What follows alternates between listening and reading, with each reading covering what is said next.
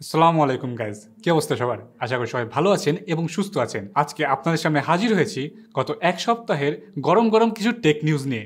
প্রথমে নিউজ থাকছে রিয়েলমি এর তরফ থেকে। আগামী পাঁচ মার্চ রিয়েলমি ইন্ডিয়াতে লঞ্চ করতে চলেছে রিয়েলমি সিক্স এবং রিয়েলমি সিক্স প্রো সকল ধরনের লিক্স এবং রুমার্স থেকে বোঝা যাচ্ছে যে রিয়েলমি সিক্স এবং রিয়েলমি সিক্স প্রো একটা এপিক লঞ্চ হতে পারে। কারণ বাজেট সেকশনে হয়তোবা আপনারা এই প্রথম নাইনটি হাজার ডিসপ্লে পাবেন।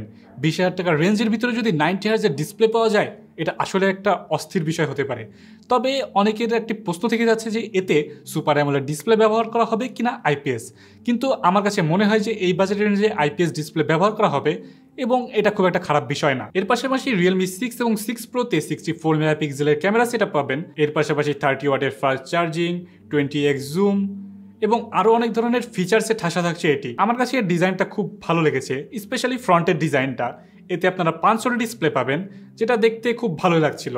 যদিও ব্যাক সাইডের ডিজাইনটা অ্যাজ ইউজুয়াল সেমই থাকছে, যেটা আমার কাছে খুব একটা ভালো লাগে নাই। আমি মনে করি রিয়েলমির এই ডিজাইন থেকে একটু সরে আসা উচিত। কারণ একদম সেম টু সেম হয়ে যাচ্ছে প্রায় ডিজাইনগুলো X two X T Realme six Realme six pro তবে আমি খুব এক্সাইটেড আছি রিয়েলমি সিক্স এবং রিয়েলমি সিক্স প্রো নিয়ে। সো লঞ্চ হলে আসলে বিস্তারিত জানা যাবে এর প্রাইসিং এবং সকল খুঁটিনাটি বিষয়গুলো। সম্প্রতি লিক হয়েছে আইপ্যাড প্রো এর একটি লিক ইমেজ যেখানে দেখা যাচ্ছে যে আইফোন ইলেভেনের মতো অনেকটাই ক্যামেরা বাম থাকতে পারে আইপ্যাড প্রোতে সো আমার কাছে কাইন্ড অফ উইয়ার্ড লাগছে এটা। তো আপনাদের কাছে এই ডিজাইন ল্যাঙ্গুয়েজটা কেমন লেগেছে অবশ্যই কমেন্ট করে জানাবেন। আদৌ কি ডিজাইনটা এমন হবে কিনা? বিস্তারিত জানা যাবে আইপ্যাড প্রো লঞ্চের পরে। খুব শীঘ্রই হয়তো মার্কেট কাপাতে আবারও আসছে শাওমি এর gaming phone black shark three black shark three top of the line specs better display better gaming experience নিয়ে মার্কেটে হিট করবে, এটা লিক্স এবং রুমার্স থেকে জানা যাচ্ছে। কিছু কিছু লিক্স বলছে হয়তোবা ব্ল্যাক শার্ক থ্রিতে থাকতে পারে টু সেভেন্টি হার্জের টাচ রেসপন্স স্ক্রিন। তবে মোস্ট অফ দ্য রুমার্স অনুযায়ী বলা হচ্ছে এতে ওয়ান টোয়েন্টি হার্জের ডিসপ্লে থাকবে।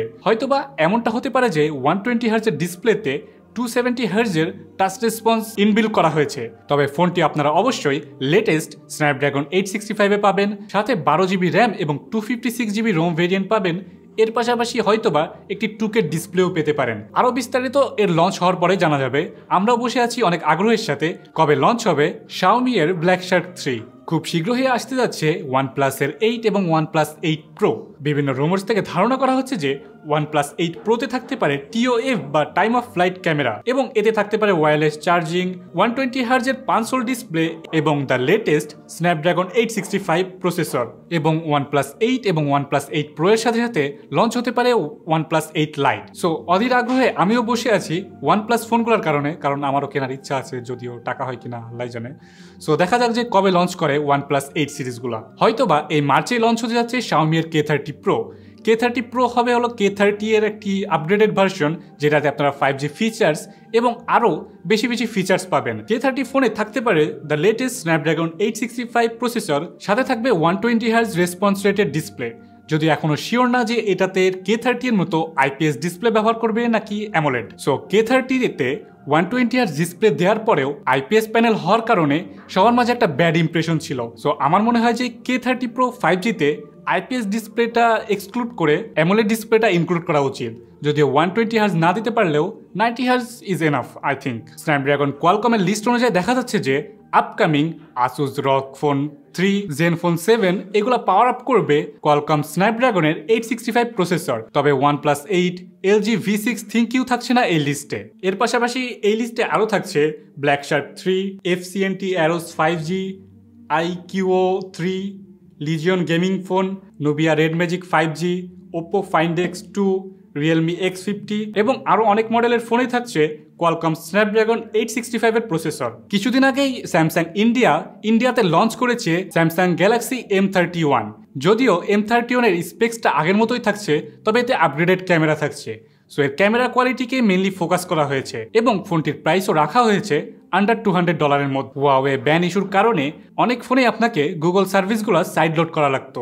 কিন্তু গুগল নিজে বলছে যে, আপনারা যেন ওয়াওয়ে ডিভাইসগুলোতে গুগলের যে সার্ভিসগুলো আছে, এগুলো সাইড লোড না করেন, এতে হয়তোবা সিকিউরিটি ইস্যু ক্রিয়েট হতে পারে। কিছুদিন আগেই সনি লঞ্চ করেছে তাদের এক্সপিরিয়া ওয়ান মার্ক টু যদিও এর নেমিংটা একটু ওয়ার্ড মনে হয়েছে আমার কাছে সনির যে ক্যামেরা লাইন আপ সেটার মতো করে নামকরণ করা হয়েছে। যদিও এর ব্র্যাক করা ফিচার্সগুলোর মধ্যে এর ক্যামেরা ফিচার্সগুলোই বেশি তুলে ধরা হয়েছে।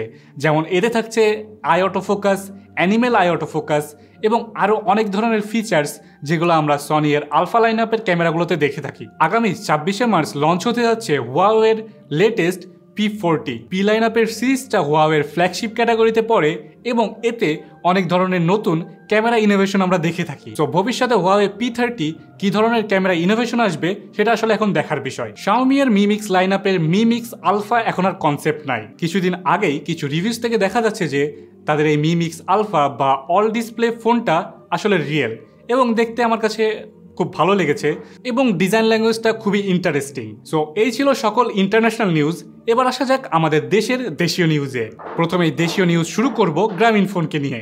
গ্রামীণ ফোন তাদের বকেয়ার এক হাজার কোটি টাকা শোধ করেছে বিটিআরসিকে এবং গ্রামীণ ফোনকে আরও তিন মাস সময় দেওয়া হয়েছে বাকি এক হাজার কোটি টাকা পরিশোধ করার জন্য। টেলিভিশনের জন্য নিজস্ব অপারেটিং সিস্টেম আনতে চলেছে Walton. So best of luck Walton. দেশীয় কোম্পানি আস্তে আস্তে অনেক দূর এগিয়ে যাচ্ছে। আশা করি ভবিষ্যতে ওয়ালটনের কাছ থেকে আরও অনেক বেশি বেশি টেক ইনোভেশন আমরা দেখতে পারব। ই কমার্স ওয়েবসাইটগুলোতে বিদেশি অংশীদার রাখার বাধ্যবাধকতা বাতিল করা হয়েছে। পরবর্তী নিউজ থাকছে রবিয়ের তরফ থেকে। এদিকে রবি তাদের দ্বিতীয় কিস্তির ডেডলাইনের অনেক আগেই তাদের বকেয়াগুলো আগেভাগেই শোধ করে দিয়েছে এবং এর পাশাপাশি ডাটা ইউজের ক্ষেত্রে জিপিকে অনেকটাই পিছনে ফেলেছে রবি।